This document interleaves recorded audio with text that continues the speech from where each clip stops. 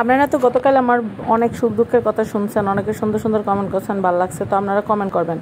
তো আমি সকালবেলা ঘুমাতে উঠলাম, উঠার পরে দেখি আমার কেমন জানি খিদা খিদে লাগছে। আর ওই যে আমার মাইয়াটা দেখলাম শরীর গরম হয়ে গেছে, এই কুরবানির টাইলেই আমার স্বামী, আমার সন্তান অগ এটা হেডা হইতেই থাকে। তো যাই হোক এর লেগে আগে ভাগে বুফেটা বুদ্ধি করে খাইছি কারণ জানি যে পরে যাওয়ানোর কথা কইলে আর রইব না।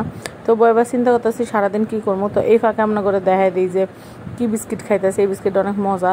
আমার স্বামী সবসময় এনার্জি আর এই বিস্কিট ডান আমি সাবাই সাবাই খাই। তো বিস্কিট খাইলে একটা সমস্যা আছে, দাঁত আটকে যায়, ভালো লাগে না। তো গতকালকে আমাকে গরু কিনছে, আমি আপনার করে দেখাই। এই দেখেন, এটা হলো আমার নন্দের জামাই যে সাদা কালার গেঞ্জি পরা, আর ব্লু কালার যেটা মাজায় দেওয়া, এটা হলো আমার দেওয়ার তো এই যে আমার দেওয়ার আর হলো আমার নন্দের জামাই দুইটা মিলে গরু যেটা লয়ে যেতেছে এই গরুটা হলো আমাকে গরু, কুরবানির গরু। আমরা পছন্দ করে আনছি। তো আল্লাহ যদি আমাকে কুরবানিটা কবুল করে, তাহলে আল্লাহর কাছে শুক্রিয়া। তো আমরা করে যেটা কমু, সেটা হলো গরুর দাম অনেক কিছু কেমন আফা কত নিল কত নিল? তো এই গরুর দাম হলো আটাশি হাজার টাকা। তো এটা কিন্তু সোয়াফের লেখা কইতেছি না সত্যি এটা আটাশি হাজার টাকা আর পাঁচ হাজার টাকা হলো হাসিল। তো এই যে দেখেন আমার স্বামী কি সুন্দর, সগর্বে, সগৌরবে, একেবারে গরুর রশি টাইনা টাইনা, একেবারে সুন্দর করে আমাকে এলাকার রাস্তা দিয়ে সিতাই সিতাই টাইটা আইতাছে। তো আমার স্বামী তো সেই লেভেলের খুশি। খুশি অনেক স্বাভাবিক, কারণ এটা তো হাম্বাই। হাম্বা ঈদে হাম্বা কিনতে পারলে ভালো লাগবে, এটাই তো স্বাভাবিক। তো আমাকে গত ঈদেও যেই গরুটা আসছিল সেই গরুটাও আসছিল ওই লোক কালা কালারের। এবারেও কালা গরু আনছে, তো আমার কালা বেটার কালা গরু অনেক পছন্দ করে, এর লাগে কালা বেটা সবসময় কালা গরুই কিনে। তো আমার মনে আছে গতবার আমার শাশুড়ি শ্যাম্পুর বাসমাইরা আমার স্বামী গরুর শ্যাম্পু দিয়ে, ডাব শ্যাম্পু দেওয়া গোসল করাইছিল, পরে আমার শাশুড়ি গেছে দিশস্ত শ্যাম্পুর বোতলটা শেষ করে তো এবার আমার বোতলটা নিয়েও টানাটানি করতে পারে। আমি নতুন এক বোতল ডাব কিনছি। তো আমার স্বামী হেডলা টানটানি করলে কমু, না, তুমি মিনি প্যাকেট দিয়ে গোসল করো, আমার ডাব শ্যাম্পু আমি দিব না। তো যাই হোক, হে, অনেক মানে এরকম ছাগল সোহাগী গরু সোহাগী এর আগে আমার আকিকার ছাগলটা ওই শ্যাম্পু দিয়ে গোসল করাইছিল। মানে হ্যাঁ এই সমস্ত পশু প্রাণীরা অনেক ভালোবাসে। আমার মনে আছে, আমার আকিকার খাসিটার কষ্ট দেখা আমার স্বামী আমার আকিকার খাসিটারে কুলে করে চারতলা উড়াইছিল। তারপরে আডি শাক কিনা খাওয়াইছিল। তো আমি আপনার করে গত কুরবানিদের একটা ইতিহাস কই, শুনলে আপনারা আমার অনেকে খারাপ করতে পারেন, কিন্তু আমার কথাবার্তা এরকম, কিছু করার নাই। আমি যা, আমি তাই। আমি আমি ফুডান ফুডান ফুডানি মার্কা কথা কইতে পারি না। মানে ফুডাঙ্গির মার্কা কথাবার্তা কইতে পারি না। আমি অনেক সিম্পল মানুষ, অনেক সাদা মাটা আমার যা মনে হয় আমি তাই কই।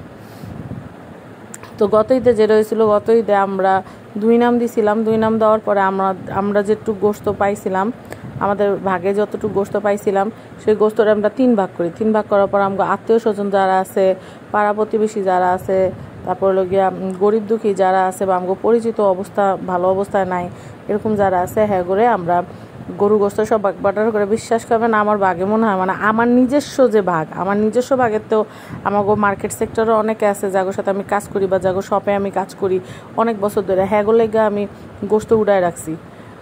সবাইরে গোস্ত দিছে এলাকা যারা যারা পরিচিত আছে, এমন অনেক মানুষ আছে যাগুলো এক দুই বছরের মধ্যে দেখা হয় না, কিন্তু আমার কত হলে, আমার জানা মতে যারা কুরবানি দেয় না হ্যাগো কাছে গোস্তটা পৌঁছায় দেওয়া। তো আমি রান্না বান্না করে আপনার রান্না বান্না দেখেন আর গল্প করি। এটি কোনো রেসিপি দেওয়ার মতো না যে আপনার করে কমো এটা এটা করছি। তো যেটা কইতাছিলাম, আমি একেবারে সবার নাম ধরে, যেমন আমার বইন আরও পরিচিত যারা আছে, যা করে বইন রাখছি এগুলো সবাই লেগে দেয়া গেছে, আমি প্যাকেট প্যাকেট প্যাকেট প্যাকেট করে গোস্ত রাখছি, আব্বা আম্মা লেগে রাখছি, কারণ আমার যখন সামর্থ্য ছিল না, আমার আব্বা আম্মা আমার বহুত দিছে। আমি অস্বীকার করব না, অস্বীকার করলে আল্লাহ নারাজ হব কারণ আমার যখন কিচ্ছু ছিল না, আমার আব্বা মা আমার অনেক বড় ঢাল ছিল। আমি যদি আমার গায়ের চামড়া দিয়ে যদি জুতাও বানাই দিই, আমার শাশুড়ির আমার বাবা মার, এগো ঋণ আমি জীবনেও শোধ করতে পারব না।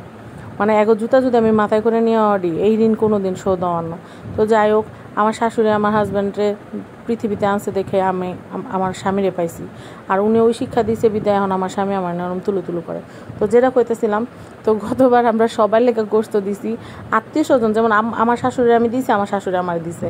আবার আমার মামি শাশুড়ি দিছে, মামি শাশুড়ি আমার দিছে। মানে এরম যারা ক্লোজ আত্মীয় এক কথা বাদ মানে এরা তো আমরা দিছি, হেরা দিছে এটা এক কথা।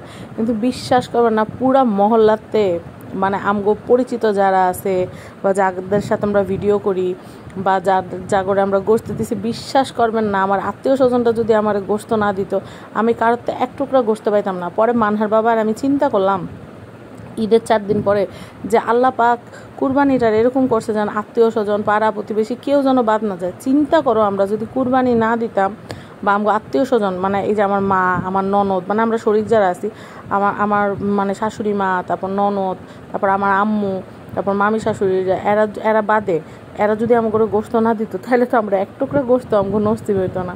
তো এটা শুধু আমার সাথে না, অনেকের সাথে এমন হয়। কারোর সাথে এমন হইলে এটা কিন্তু আমার জানাইতে ভুলবেন না, কমেন্টে জানাবেন। আপনাকেও কমেন্ট করতে আমার অনেক অনেক মজা লাগে।